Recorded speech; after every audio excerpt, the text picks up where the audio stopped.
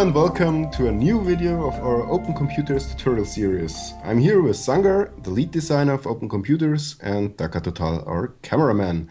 Uh, this video is a yeah uh, is inserted between the next video because we realized by recording it that we uh, should uh, explain the basic concepts of how to use a computer. So this is especially for all these that want to use open computers but uh, don't know how to navigate around on it. And also yeah mainly just want to use it and not so much program it on it. So yeah i would say let's go right into it. Yeah. So basically we were done with the next video and then realized so okay so what about those people that have no idea how linux works um, so, if you ever used some command shell ever, you probably won't have much problems at all. If you have not, not to fear, it's not that bad. So when you start your computer, you will see this screen with this, what's called a shell. So this cursor blinking here is telling you, okay, you can enter text. Hey, you can enter text, so I can enter text. Um, you can enter any text, of course, but it will tell you, well, file not found. What this really means is there's no program that's called that way. So there's a bunch of built-in programs in OpenOS uh, which you can run from this shell, which you just run by entering the name of the program. Um, a few of the most basic ones you will need to know to navigate on your computer is uh, ls, which lists the contents of the directory you're currently in. So this little slash on the left here indicates which directory you're currently in. And then you can see, okay, this is uh, the list of folders and there's one file in this directory and green files are usually programs which can be executed. And you can also say okay I want to know which files are in the bin folder. So you just provide the folder name of the folder you want to list. And this will tell you all the files which are in the bin folder. And these are also coincidentally uh, are the programs that are built in into OpenOS. So if you need to know which programs are available to you just ls bin and you will see all these. And to run it you just enter the name of the program with or without the extension though. So the .lua extension is optional. So for example, I don't know, what's interesting? What's the date? So to enter the uh, um, output the date, the current date and the time of the Minecraft world, you enter the date command and tell you, okay, this is the current time.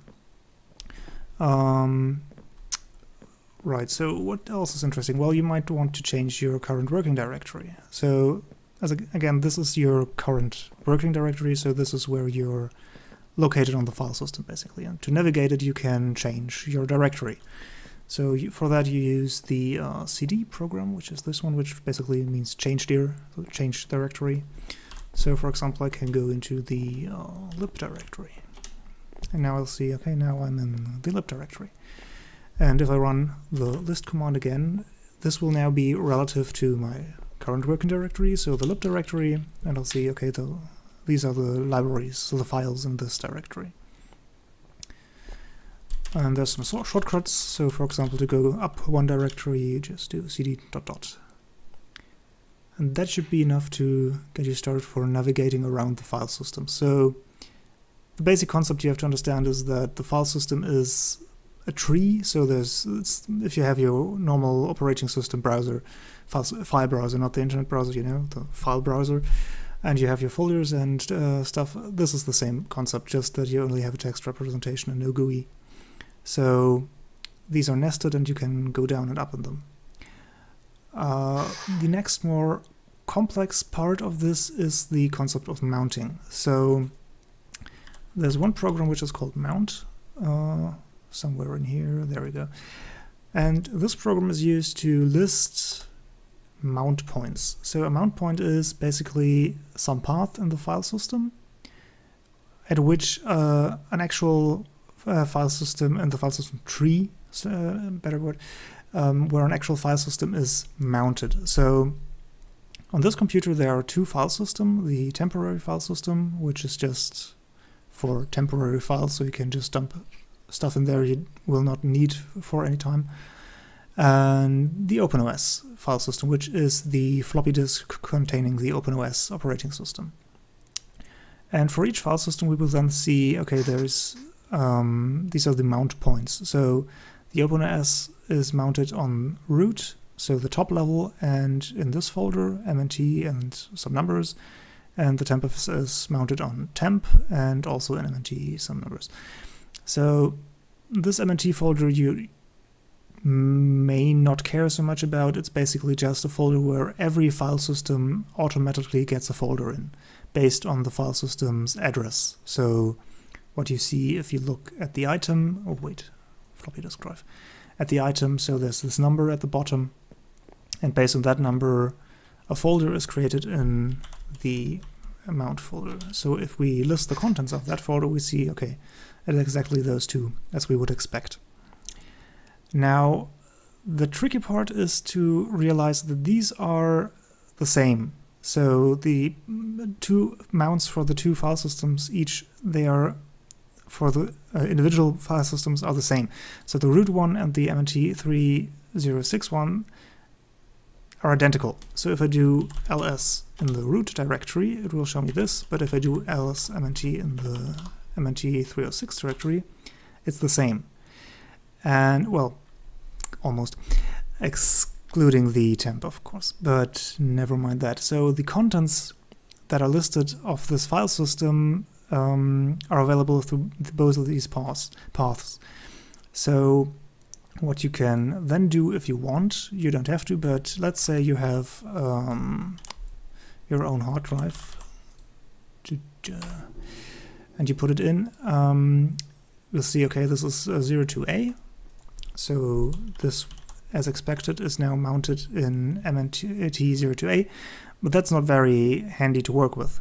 So let's say we want to mount this somewhere else where we can uh, better remember the name of the path. Uh, what we can do for that is we mount um, the uh, the this uh, this um, hard drive at a different point in the file system tree.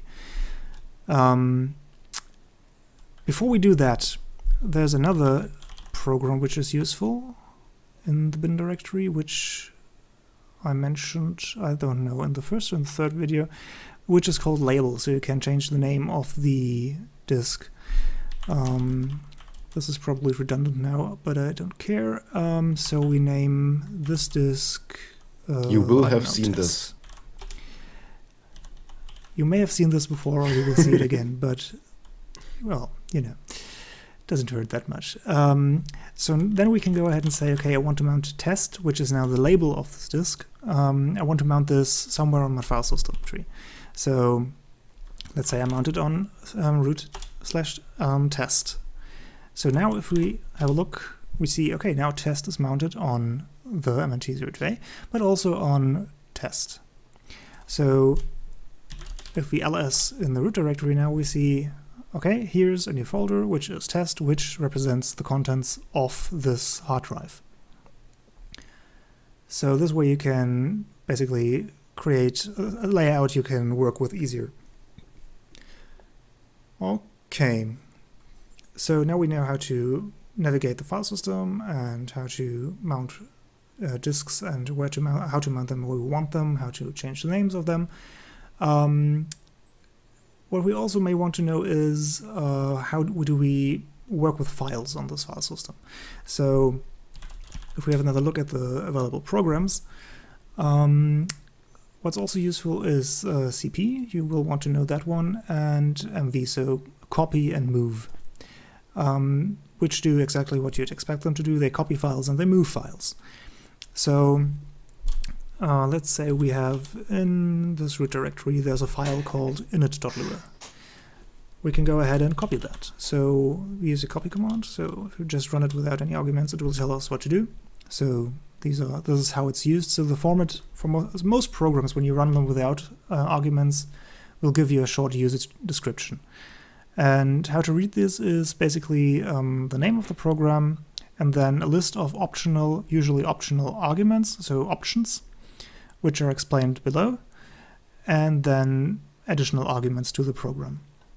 So in this case, we have um, these four options which do different things. We can either combine them into one string, as seen in this part here in the example, or we can um, specify them individually, and then from is the is either one file or a list of files, and two is uh, a target file or directory. So to copy the init file, we say, okay, we copy init to, uh, let's say, test.myinit.lua. And it'll do some work in the background, and then if we list the contents of test, we'll see there it is. And this is now the uh, it's now a copy of the file that is here in the root directory.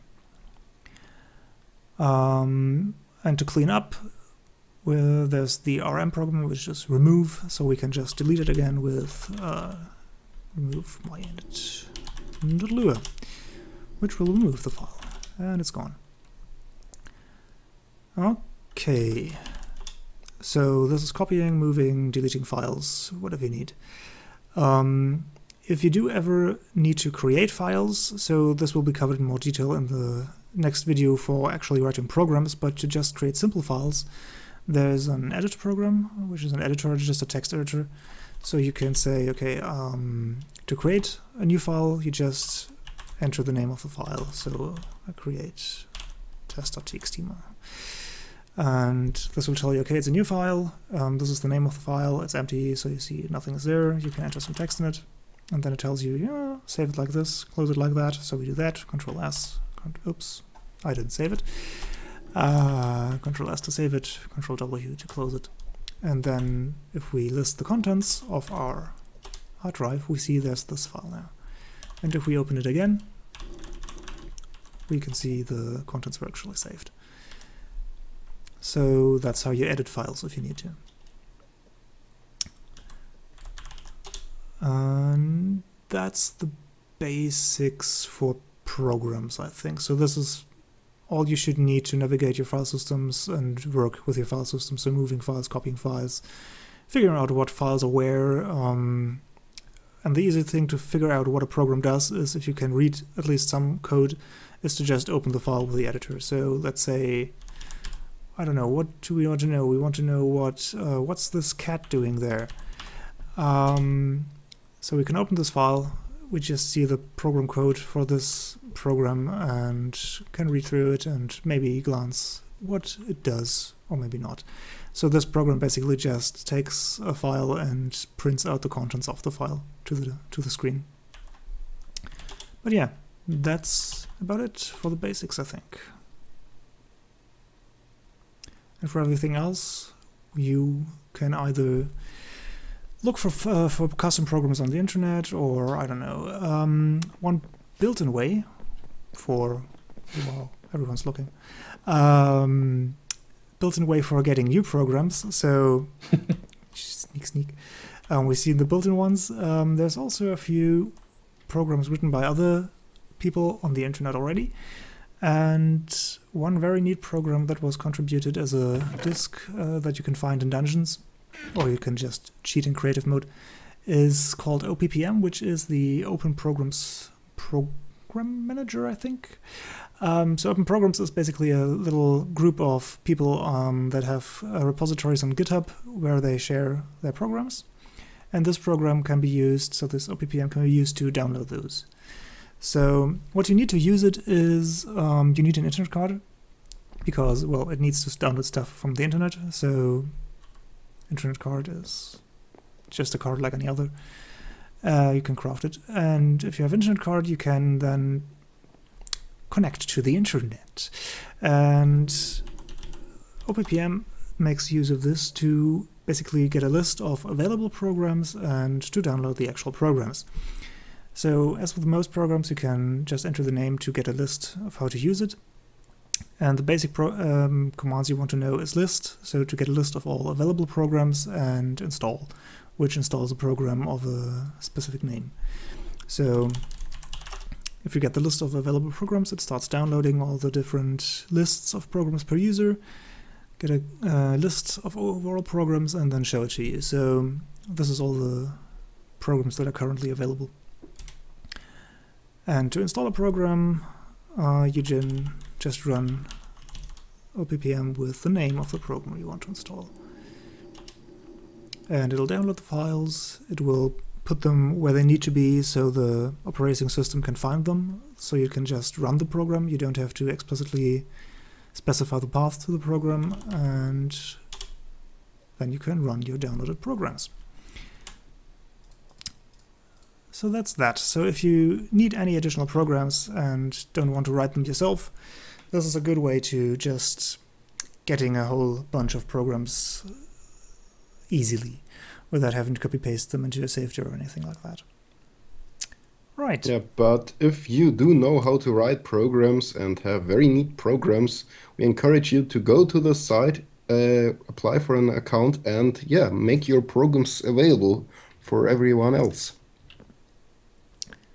Definitely. So, uh, if you want to contribute any programs to this uh, neat little collaboration, just uh, either drop by on the forums or on IRC and you'll get a repository in the open programs list and you can get listed in this overview in the package manager very easily. So if you do want to contribute programs, you're very much encouraged to do so and we're very happy for additional programs. Okay, so I think okay. That's it for this video. I hope you got a good overview how to yeah navigate in the computer. And yeah, as always, uh, these uh, programs we shown are uh, for in version 1.3, so there might be more programs in uh, upcoming versions, but the existing program shouldn't uh, cease to exist. so uh, yeah, everything we showed should still work in future versions, but as always, there might be changes. So if something doesn't work as expected, look at the changelog, and yeah, you should be fine. So, any further comments? Or just Game of Life programming? just having some fun. Yeah, I think that's it for the basics. So the next video will be a bit more in depth on how to program the computers actually. So you will be expected to mm, at least figure out for yourself how Lua works for the next video. Ah, I hope that's not too big of a problem. So yeah, so uh, Lua information can be found all over the internet. So yeah, we will just co cover yeah how to use it in open computers, but the semantics of the language you should know yourself. or learn yourself yes. But if you if you have any questions whatsoever do not hesitate to drop on drop by on the IRC so everyone is very helpful there. And if you're new to Lua don't hesitate to come by either. We will definitely at least try to help you. Okay. So yep. that's it for this video. Thank you very much for watching and until next time. See you